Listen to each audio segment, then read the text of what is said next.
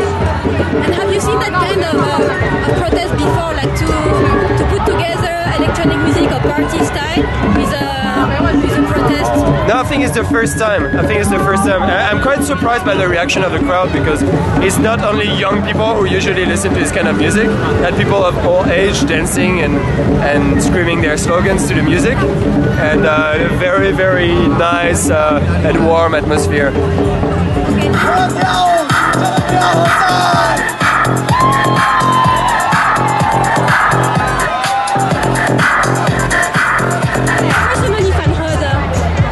这个国家，爱这个土地，这样而已。你们是第一次参加那个反核的活动吗？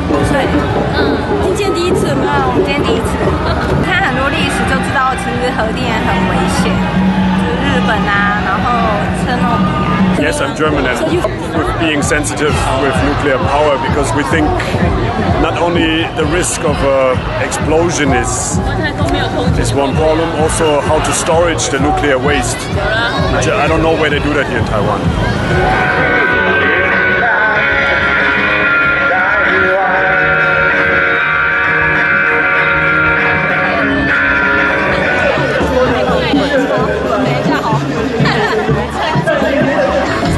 爆炸之后就开始比较知道说，就是反核的危机意识，所以就开始反核。所以你们今天是第一次参加一个反核游行吗？而且也是我第一次参加游戏。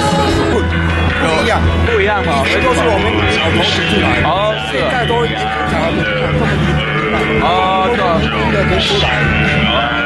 哦，台湾大家现在年轻人他已经晓得了。我觉得今天蛮开心的，因为至少人比以往多很多。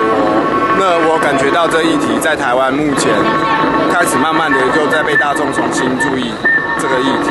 我们这里看到很多人，可是事实上，台湾那么多人，这里只是占整个台湾的少数而已。可是你还是要出来，让人家看到一些声音、一些作为。